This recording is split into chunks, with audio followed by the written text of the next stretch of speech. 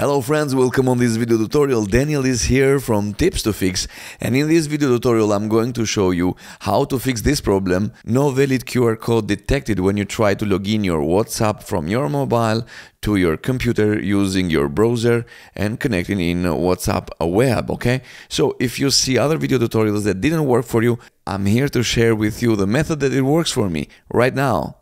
So you will see this error very often if you go to settings and scan the code directly here because it's not supposed to be like this. You have to go to linking device, okay? If you are on Android phone, go to chats and then you will see the three dots here and click the linking device. Remove and log out all the old devices, okay? And try to link new device like I'm doing. You see? And now scan the code again. Okay? So this works for me really well. Look at this. Now you will see the messages on my screen. Here.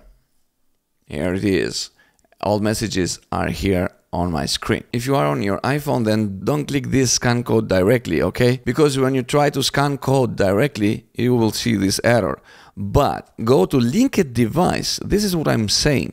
You will see link device, remove all device, or if you don't see any device at all, just link the device here, okay, log out, then log in device again. Now you will be able to scan the code on your WhatsApp web, then this method will works for you, okay? So if this method didn't work for you, then let's try now the other methods to fix this problem. What you gotta do, just go to your browser and then go to three dots here at the top, settings, and then we have to clear browser data and cache. So make sure to click here all time or seven days. But I will choose all time and um, and check cookies and cached image or go to basic or advanced data. And then what you gotta do just hit this button clear data okay on your browser restart the browser. Very important thing is make sure to update your browser go to settings help about Google Chrome and then you will see Google Chrome checking for update. Is really important that you have to update your browser. And then after update is done you just restart the browser.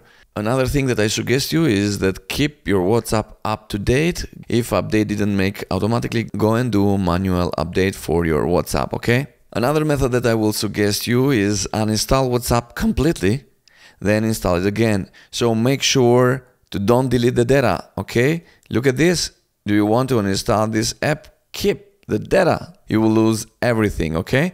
So after WhatsApp is uninstalled completely, you have to install it again and then try if this method will works for you. So these are all the methods to fix this problem, okay? So thank you for watching this video tutorial. Don't forget to subscribe Tips 2 Fix for more videos like this. God bless you. See you on the next video tutorial.